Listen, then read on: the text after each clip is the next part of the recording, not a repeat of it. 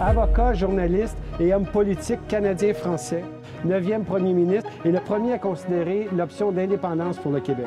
En tant que premier ministre, a contribué de façon directe à la protection et à la connaissance de la nation canadienne-française et à protéger les pouvoirs du Québec face à Ottawa. Et si on est aussi fiers et si on est ceux qu'on est, c'est à cause de ceux qui nous ont précédés.